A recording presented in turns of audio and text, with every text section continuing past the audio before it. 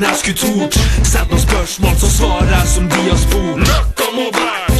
Det her er syndeflod. Jeg skriver rødt, men det trengs mer enn nytt blod. Så folk må bli vant til lyden av til neste år. Og når du lærer, så ber du at hver sjel får et inferno og liv. Det kolossale med grobunn til alt liv.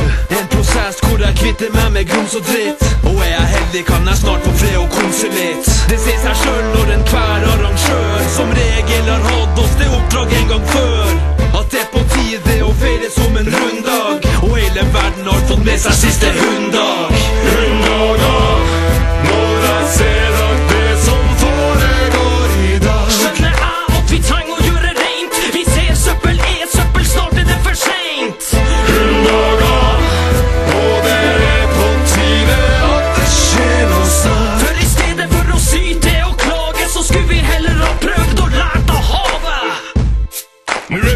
Meg på tide at vi rensker og får gorra ut av levra til folk.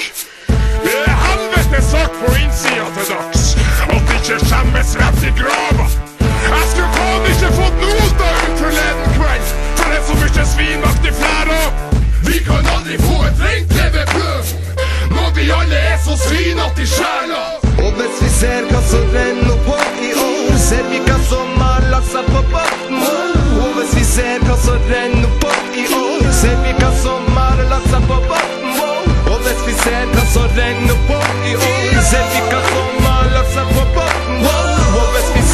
ser hva som renner på i år, ser vi